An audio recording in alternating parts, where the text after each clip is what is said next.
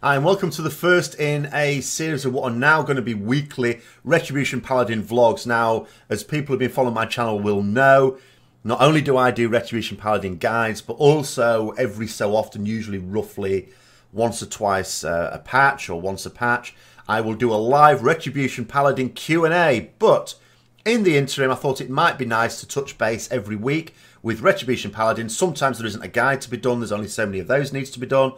So I'm just going to basically answer some questions that come in. One question that comes in quite a bit of what do I think about the gear that we're going to be getting from Antorus. Antorus is still a little bit away, but it's going to be fast approaching. So I'm going to present my ideas here. And what I would say is that if you want me to talk about anything in particular, put it in the comments below. And as I say, each week I'm going to pick, pick an interesting topic and talk about that. So when it comes to getting gear from a new raid, and Antorus is no different, we're focused in Legion on three things. Relics, tier, trinkets. So, looking at relics first of all. Now, with the Netherlight Crucible, of course, it's not as straightforward as, oh, we definitely always want Wrath of the Ashbringer or anything like that. That being said, we are still wanting BiS relics, and a BiS relic is going to contain Wrath of the Ashbringer. So, if we look through here, uh, some of the relics. So on the first boss here, and granted these are not always going to be in order, just like they haven't been at any tier so far. But we've got uh, the BiS Holy Relic is likely to be, and again, remember we can't say, because two very good, because they've all got tr two traits on them, it's just that one of them is unrevealed until we put it into the Crucible. And two very good traits would be better than one BiS trait and one worthless trait. But there is a Wrath of the Ashbringer Holy Relic again, Remember, this is great for us because we have two Holy Relic slots on one of the early bosses, the Antoran High Command. Now, when we run through these, we see we want to stay well clear of that one blessing of protection. No. Um, the best fire relic is not a Wrath one. We're not going to get two Wrath in the same one. We sort of know that. It's going to drop off one of the latter bosses, Varimathras, which is the one that increases damage dealt by Blade of Justice. But as I say, remember, when we're talking about BiS, what we actually mean is one that buffs Blade of Justice in all likelihood, um, or maybe one of two other things, but also one that buffs our Wrath of the Ashbringer. So what we'd be hoping for if we had this Fire Relic is Wrath of the Ashbringer on one of the ones from the Netherlight Crucible. But yet again, for the third tier raid in a row, we do have a Wrath of the Ashbringer relic that drops off one of the early bosses, which is great for us because we means that we can get it on quite a high item level just baseline. The fact that it's switched back to being holy, like it was in Nighthold, also means, well, that should be two of our relics covered. Assuming they drop, we seem to have a bit of a problem with that in my guild. And because it's an early boss, it also means you'll be killing that boss on a particular difficulty more than many of the others, which gives you a better chance in the long run of getting Titan Forge relics of that type. We just have to hope, as I say, that when the Netherlight Crucible gets it slotted, that it gives you a nice trait on that as well. Now, when it comes to tier, two set bonuses. These could switch around, remember. Also, which bosses they drop off could switch around. That's happened before. That happened in the current tier. But as it stands, two set bonus means that Judgment increase by 60%. That's going to be fantastic. It's going to yet again increase the value of our mastery. That was already increased a little bit recently. It's still not, you know, something we want a lot of. That being said, it's no longer something that we want to shun. It's sort of okay. It's just not preferable. 60% damage on Judgment, well, all of a sudden, that could look quite good. Another talent that could look quite good, even on single target, is Greater Judgment. Now, I sometimes use Greater Judgment in Mythic Pluses now if I'm using Blade of Wrath with it. But with this one, you might even use Greater Judgment on single target. But it'll be one of those, yet again, you know how it is in Legion. You'll have to sort of sim it for yourself. Because what good is Greater Judgment on a single target fight? Well, it means that above 50% health, all of our damage crits. When is that, or all of our judgment damage crits, I should say. When is that useful? That is useful when the crucial part of a fight is actually the first part of a fight. Maybe a fallen avatar type situation where if you have a really good first part to the fight, that's actually when it's most dangerous. And if you get through that all right, you're actually in pretty good shape for the latter part of the fight. But having a lot of crit is going to devalue that. Because if you've got, say, 40 or more percent crit, you're not getting as much benefit from greater judgment as if you only had like 20% crit. So that's why it'll be important to sim for yourself because there's various things that can affect the benefit of it and as well and something that Sims won't be able to tell you is what sort of fight is it? Do I want to be able to do loads and loads of damage right at the start? Is it that's when it's most crucial? Or is it actually more crucial right at the end? In which case, of course, Greater Judgment doesn't do as much good for you. The four set bonus just means that whenever you use Judgment, then your next Holy Power spender costs one Holy Power fewer.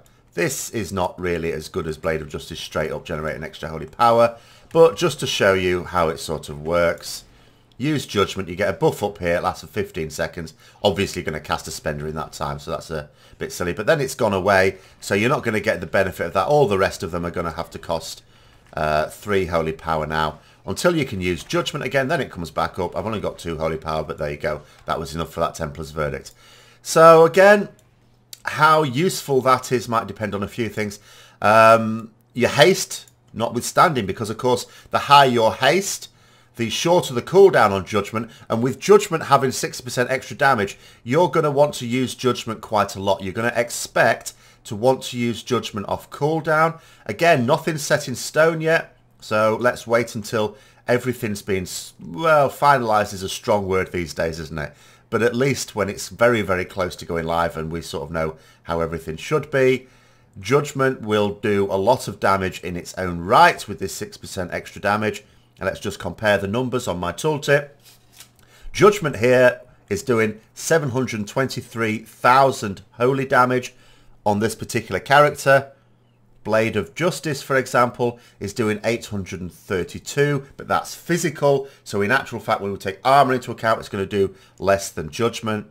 Templar's Verdict doing 606,000 holy damage. That's less than Judgment. Judgment is straight up going to do more damage than anything else we hit with. Um, that is ultimately the reality of the situation that we are looking at. So are you just thinking of Judgment as being putting a debuff on things your Templar's Verdict does more damage? Not really. Obviously bear in mind that that Templar's Verdict damage is going to be buffed by our Mastery. So is likely to do more damage than Judgment when we take that into account.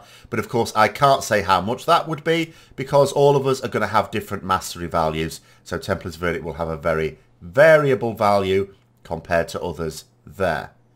But we could easily be in a situation where if Judgment's available, we want to use it. Unless, of course, obviously, you're on 5 Holy Power, you want to use your Spender because you've got builds available. Usual priority in that sense is going to reign. So what about trinkets? Well, I've picked out three trinkets here. Uh, there are a few more on offer.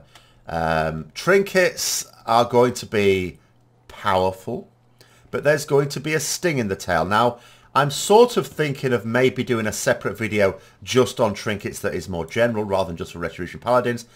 But let's go through this. So the Shadow Singed Fang is just a nice straight up trinket. It has its proc chance. It's got a chance to proc our primary stat of strength. Also means the auto attacks have a chance to increase our crit rating. But there's no stat on it, primary or secondary as a baseline. So when it's not procking, it's not doing anything for us. One of those trinkets just, you know, that will be okay. You don't have to do anything with it. It's just fire and forget. However, there are two trinkets of notice for us. There are six such trinkets altogether, but two of them are usable by us. And they drop off the last boss. Now, that's quite important. So we have Khaz'goroth's Courage. This has strength on it by default. And it means damage and attacks have a chance to make our weapon do uh, fire damage on auto attacks. Lasts for 12 seconds. Okay. That's just what it is. It's a little bit like Cinders in some ways, isn't it? You've got, you know, you've got a stat on it, passive stat, and you've got a chance to do some damage, fire damage on it. Uh, there's nothing you really need to do to take account of that. Obviously, when it procs, you'd like to make sure that you're hitting something, that you're not just stuck out there. But then again, the only reason you wouldn't be hitting a boss or an ad anyway is if you're having to deal with a mechanic, and you should do that anyway. So you don't have to think about this one. Here's where it gets interesting, and by interesting I mean face facepalm moment. Khaz'goroth Shaping, and this applies to all such similar trinkets, for all roles have these trinkets. When empowered by the Pantheon, what that basically means is when other people in your raid have these trinkets, your critical strike, haste, mastery, or versatility, in other words, a secondary stat, is increased by a certain amount for 15 seconds. And Khaz'goroth always empowers your highest stat. Now, the way this is intended to work is that the more people that have these sort of trinkets in your raid, the better this will be. It's a way, and this idea has merit. I'm not going to dump on this idea. That it allows your guild as you go through each week and you get more of these trinkets to become more powerful. It's a way of getting the power of your raid to increase so that fights can nerf themselves a little bit, which sounds fine. That in itself sounds fine. The downside is, uh, the one mind, you know, little gripe on my part of view is because it always empowers your highest stat, your highest stat may not be the stat you really want. It works on this assumption that you've loaded up on whichever stat you most want, but you don't always get a lot of choice in that. The fact that there are so few, although there's, in theory, many, many items we can have and we, we can sort of pick and choose which items we wear, assuming we're doing lots and lots of Mythic Plus dungeons. But for a lot of us, especially when you consider tier and things like that, there's so many things that occupy our slots that are tier or legendaries. I mean, that straight away is eight of your slots, and you pick those based on the bonus of it, not the stats, and the stats may not be ideal.